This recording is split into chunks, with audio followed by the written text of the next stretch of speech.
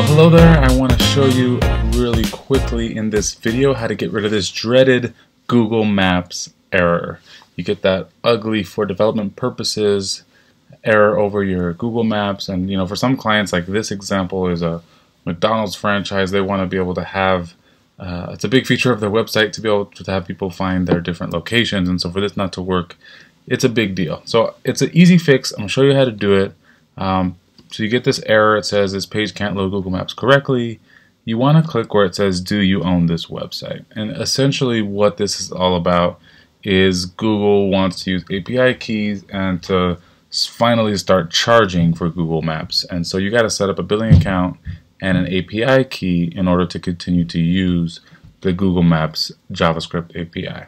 Um, you know, back in the good old days, it was free. You didn't have to go through all that, but that is the process now. And so I'm going to show you very quickly how to do that. So you'll click on Do You Own This Website? It's going to take you over to their documentation, which is pretty good. It, it really uh, explains how to get through uh, this whole process. So it says, Are you using an API key? No, I'm not using an API key. Click Get Started. That's going to take us over to the cloud console for Google. I think I'm already logged in. There we go. So if you don't if you don't already have an account, you'll probably have to just log in. In my case, I have an account, so it takes me straight to the console, and then I'm going to have to basically select the uh, what's the word property or let's see.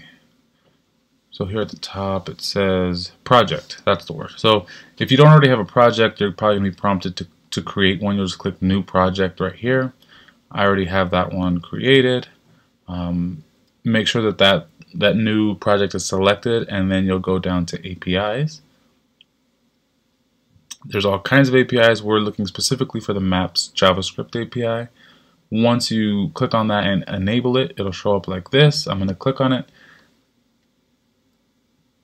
Now, once we get to this screen, you're going to want to go to credentials. And this is where you're going to set up your API key. And so you see there's the API key. I've already created mine, so I can just copy and paste that into my application, which is down. Let's pop up the, oops, wrong button. It's, if you open up your code, it's probably going to look something like, uh, API key or key equals so it's going to look something like this. You'll have your, your script for Google Maps and it'll say key equals and that's where you're going to insert that API key. And once you do that, it should get rid of it and you'll you'll get this message cleared up.